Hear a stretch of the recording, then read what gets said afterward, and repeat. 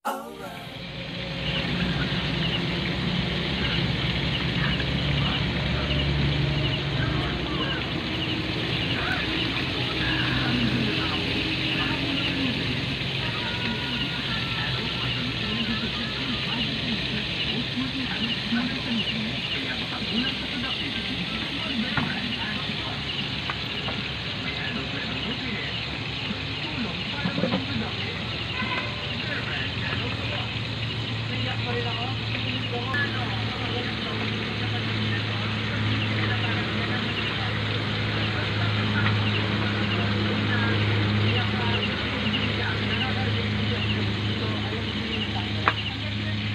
na siguro na nila rin, no?